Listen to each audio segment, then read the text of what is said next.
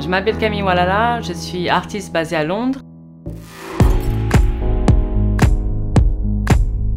J'ai été contactée par K36 pour faire un design de voiture pour la marque Ada. Ces deux voitures seront en circulation à Paris pendant un an à peu près.